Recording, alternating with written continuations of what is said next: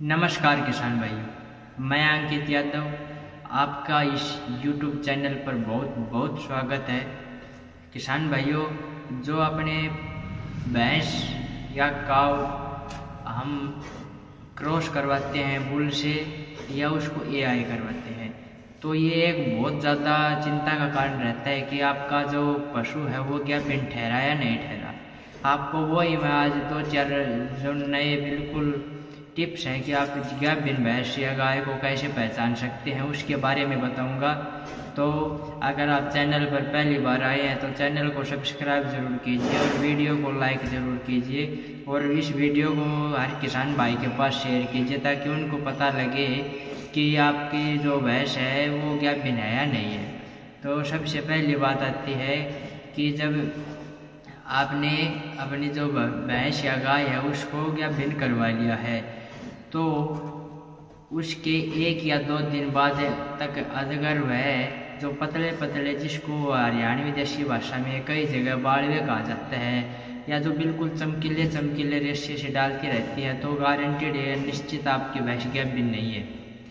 और अगर आपका पशु मान लीजिए, ये दो, एक दो दिन से सात दिन तक गड्ढे जो तात्विक बोला जाता है, वो डाल रहे हैं कंटिन्यू ये एक दिन डाल दिया, दो दिन डाल दिए कंटिन्यू डाल रहा है तो समझ लीजिए आपकी जो भैंस है, वो निश्चित गैबिन नहीं है। और तीसरी बात है कि जब आपकी भैंस 10 से 15 दिन के बीच में अगर टोक्य करती है, टोक्य का मतलब होता है कि जो थन होते हैं, वो पावश जैसे हो जाते हैं, जैसे भैंस पावशी हुई है तो वैसे हो जाते हैं तो भी समझ लीजिए आपकी भैंस है, वो गैप भी नहीं है, वो हीट में आने वाली है।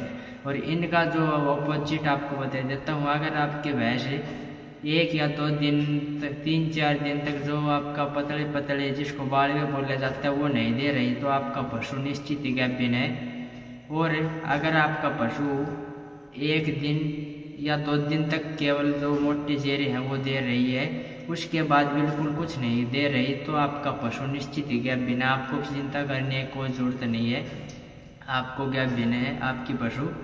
और जो तीसरी बात है, अगर आपका पशु पाँच दिन या सात दिन तक गैबिन होने से पाँच दिन या सात दिन तक जो डोके हैं, वो कर लेती है। तो समझ लीजिए आपके पशु बिल्कुल ही निश्चित रूप से गैप है। आपको किसी प्रकार को चिंता करने की ज़रूरत नहीं है कि आपका पशु गैप बिन है या नहीं है।